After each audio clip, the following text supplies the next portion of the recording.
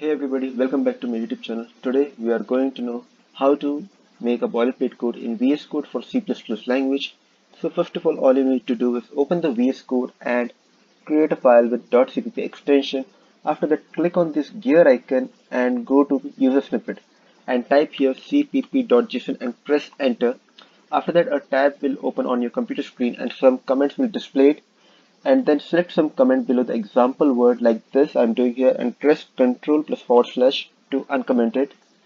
And at the place of print to console write there boilerplate boilerplate code like this. And at the and to the next line at the place of log write there boilerplate. And then come to the body section and remove the text of the body section entirely. And write down your code which you want to be appeared after the boilerplate command like this. And make sure that you write your code in between the double quotes and end your code with the comma and same procedure to the next line till the end. And don't forget to add a dollar zero here.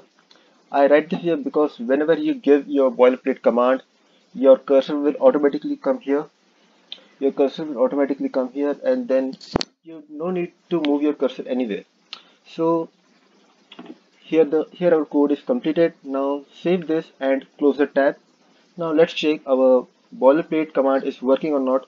Simply type here boilerplate vs code will suggest you and press enter. So guys here our boilerplate code is working. So you start adding your program. Thank you guys for watching this video